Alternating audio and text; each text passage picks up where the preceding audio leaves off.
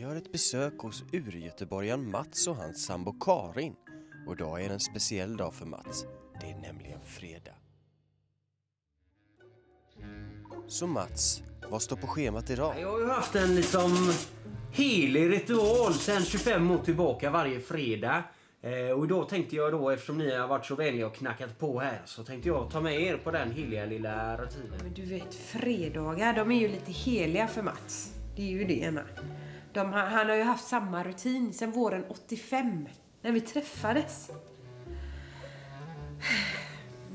Nej men eh, fredagar betyder ostbågar och rock'n'roll och här har jag en redig påse som jag precis har öppnat och doften är ju bara, ah, den är oslagbar va. Nu kör vi, nu festar vi lass.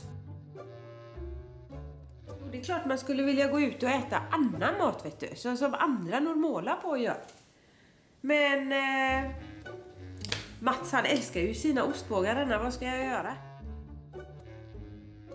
Nej men du vet, man är ju ändå skåp för att njuta och ostbågar och rock'n'rollen, det är liksom de stora grejerna i mitt liv. Ja, förutom frugan och Karin. Men du vet, ostbågar, det, det är något speciellt med doften och du vet smaken och alla aromer som bara fyller hela munnen med njutning. Det kan inte du för det.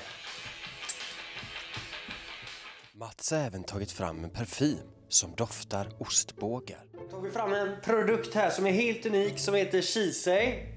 Med doft av färska ostbågar. Eh, skulle vilja prova lite, jag lovar. Det går hem hos Karin, vad tycker du om doften?